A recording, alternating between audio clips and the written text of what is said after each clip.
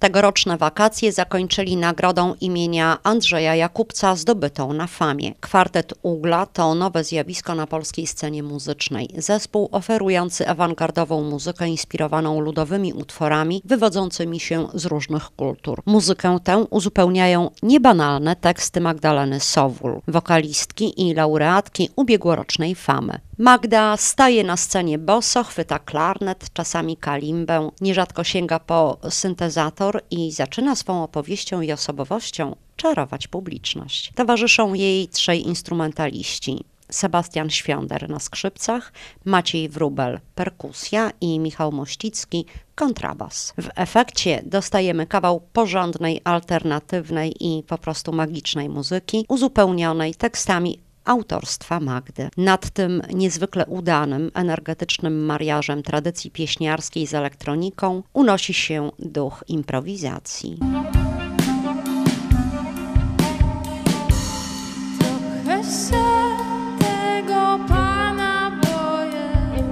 Kwartet Ugla to słowo oznacza w języku islandzkim sowę. Pojawi się niebawem na największej suwalskiej scenie. 15 listopada w sali imienia Andrzeja Wajdy na żywo będziemy mogli wsłuchać się w niezwykłe brzmienie czwórki muzyków i posłuchać muzycznej opowieści Magdy, rodowitej suwałczanki. Niebawem na rynku ukaże się pierwsza płyta kwartetu. Zanim to nastąpi, naprawdę warto posłuchać ugli i dać się jej zabrać w niezwykłą muzyczną podróż, trochę ze snu, a trochę z baśni.